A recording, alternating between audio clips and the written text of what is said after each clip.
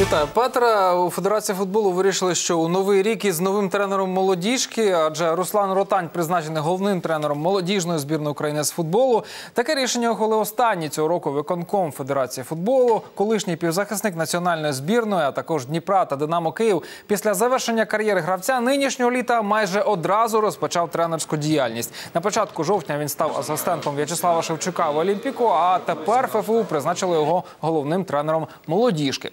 Одним рішенням виконкому федерації стало призначення Олега Блохіна головою ради стратегічного розвитку професіонального футболу. Також визначили місце проведення домашнього поєдинку відбору на євро 2020 проти Португалії. Головного фаворита нашої групи ми приймемо на столичному НСК Олімпійській 14 жовтня. А перший матч однієї 16-ї фіналу Ліги Європи УЄФА Шахтар Айнтрахт відбудеться у Харкові 14 лютого. Нагадаю, свій останній матч у Лізі Чемпіонів через воєнний стан у Харківській області Шахтар змушений був грати у Києві. Тим часом футболісти та тренер донечан поздоровили своїх шанувальників із прийдешнім новим роком та різдвом. Провідні гравці Шахтаря вбрані у яскравий святковий одяг власноруч розмалювали сувеніри, залишили автографи та розклали новорічні подарунки. Для створення святкової атмосфери не обійшлося без конфеті, бенгальських вогників, шампанського та інших незмінних атрибутів нового року. счастья, удачи, здоровья, чтобы все ваши мечты сбывались и все получалось. мира, всего самого хорошего. Э, С Новым годом! Інший вітчизняний грант Київське Динамо не зраджує багаторічні традиції. Перед новим роком провело зустрічі з дітьми, які постраждали від наслідків аварії на Чорнобильській АЕС. Поспілкуватися з малечою та вручити їм пам'ятні подарунки прийшли легенда Динамо Володимир Мунтян та гравці теперішнього складу столичної команди Олександр Андрієвський та Георгій Бущан. Після урочистостей, вручення подарунків та спільних фотографій свято продовжилося переглядом новорічної вистави.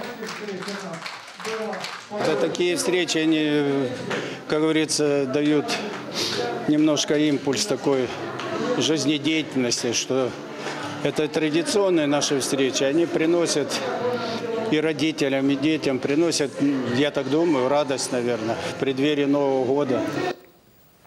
Аж ніяк не приємний подарунок під новий рік отримав міланський інтер. Клуб проведе свої два наступні домашні матчі без вболівальників. Таке покарання інтернаціонали дістав після переможної гри з Наполі. Фанати синьо-чорний протягом всього матчу скандували расистські образи та гасла на адресу одного з лідерів неаполітанців Каліду Кулібалі. У підсумку сенегальський захисник Наполі не витримав постійної обструкції. На 81-й хвилині спершу сфолив на міланцеві політану, а потім одразу саркастично поплодував за це арбітрові. У підсумку друга жовта і видалення. Вже після гри покарання не минуло і фанів расистів. Однак в серія вирішили, що це не виправдання для Кулібалі і виписали сенегальцеві двоматчеву дискваліфікацію, як і ще одному видаленому в тій зустрічі неаполітанцю Лоренцо Інсіньє.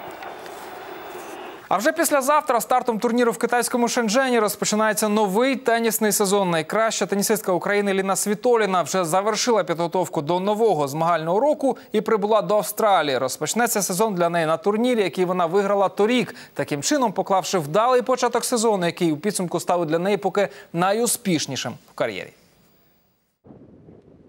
Еліна Світоліна готова розпочати новий тенісний сезон, який стартує для неї на турнірі в австралійському Брізбені. Для ще більш бойового настрою українка не лише займалася в залі, а й навіть боксувала у ринзі. Нині головна мета Світоліної виграти серію Гренд Слем та стати першою ракеткою світу. Після Брізбена українка продовжить виступи на турнірі у Мельбурні. Завершила підготовку до нового сезону і чинна чемпіонка US Open японка Наомі Осака. 20-річна тенісистка у Брізбені вирішила ближче познайомитися з флорою та фауною Австралії і завітала до місцевого зоопарку. П'ята ракетка світу пообнімалася з одним із символів Австралії коалою, після чого погладила кенгуру та, набравшись сміливості, потримала у руках гігантську змію. Я завжди дивилася програми про тварин, але ніколи не думала, що коли-небудь триматиму в руках коалу. Це дуже мило. Я дуже люблю приїжджати в Австралію, тому маю надію, що мені вдасться добре тут виступити.